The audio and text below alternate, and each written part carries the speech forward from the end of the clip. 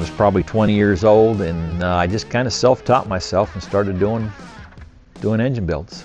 My name is Tony Bischoff. My business name is BES Racing Engines. I've been in business for uh, about 38 years. Been doing it since uh, a year or two out of, out of high school. Being a gearhead, most of my customers are gearheads. We do a lot of truck pulling stuff. We do a lot of street stuff. Even we do some uh, a lot of stock rebuilds, primarily for stuff that's uh, restorations where they need the original serial numbers to match. And because we're so busy, we try to stay with just domestic V8 stuff. I'd say our biggest niche in the motorsports is, uh, you know, drag racing.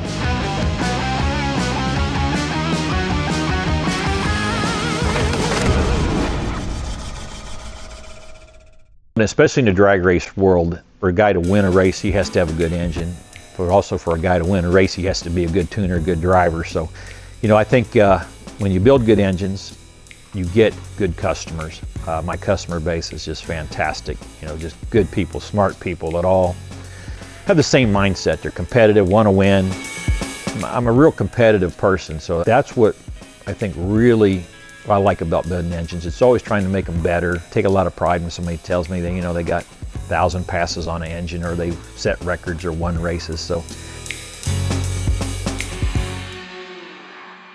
first Engine Masters Challenge I won, that does stand out. That was probably the first time that I almost cried. So we had like 40 engine builders all together and we all dynoed on the same dyno and whoever had the best score won it because there was a lot of good engine builders there. You know, being engine builders, we all think the same, so you really enjoy hanging out with people like that. And then, uh, then to win it, that was very satisfying.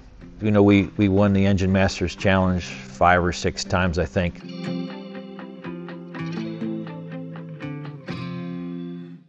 Well, I think we pay a lot of attention to detail. I have 20 guys working in my shop, so we turn a lot of work and, and having good dependable machines that can do a job quickly is, is key to getting work done.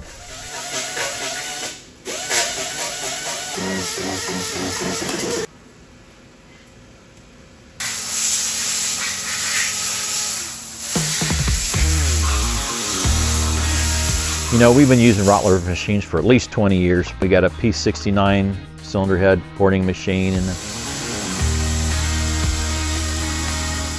EM69 HP machine.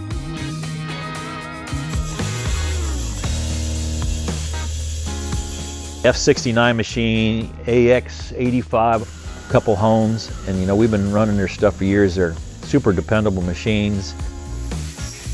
The technology to give you a good product that is efficient and fast. My name is Preston Mosier.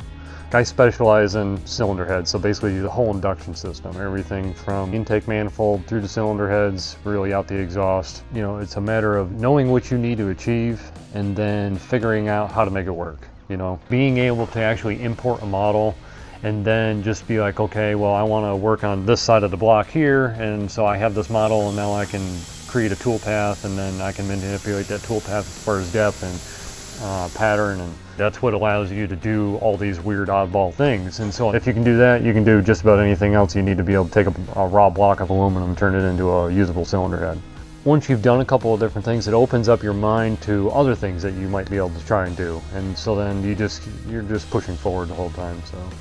It's really stepped up how quickly we can do things. You know, I used to do everything with manual machines, which take us forever. When we buy the Rottler machines, they do train you on the machines starting off.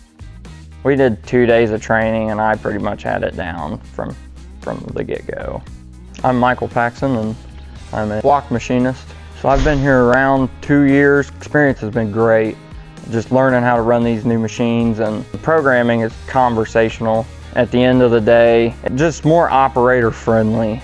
Pretty well everything we do goes through a Rottler machine somewhere along the other.